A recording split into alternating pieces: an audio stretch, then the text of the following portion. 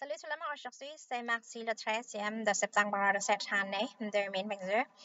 Um, pour le jour d'aujourd'hui, mardi, c'est le jour pour la conférence de presse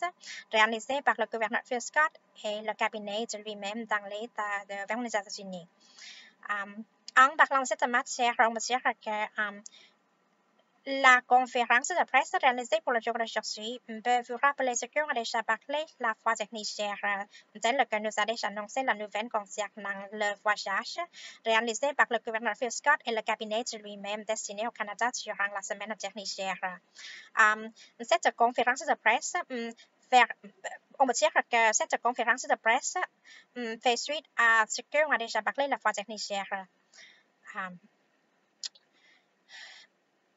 En parlant de ce voyage, on peut dire que c'est pour le but de renforcer une relation économique avec le Canada, la nation voisine de l'État de les États-Unis. Um, en de cette matière, peut dire que um, grâce à l'aspect convenable concernant la géographie convenable entre l'État de les États-Unis et le Canada, tous les deux parties peuvent le trouver convenable um, pour accéder au Vermont ou au Canada, rien qu'aller en voiture en traversant la frontière entre ces deux parties, ces deux nations, n'est-ce pas?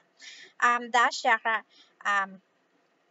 en parlant de cette matière, on peut dire que durant ce voyage, le gouverneur Scott de l'État de États-Unis et le cabinet lui-même avaient l'occasion d'assister à un événement qui s'appelle Aerospace concernant un domaine d'aviation. Um, euh, celui qui a appel à des investissements du gouvernement canadien. Um, en plus de l'industrie pour les véhicules électriques, un domaine dont le gouverneur de l'État de les États-Unis s'est avisé pour le futur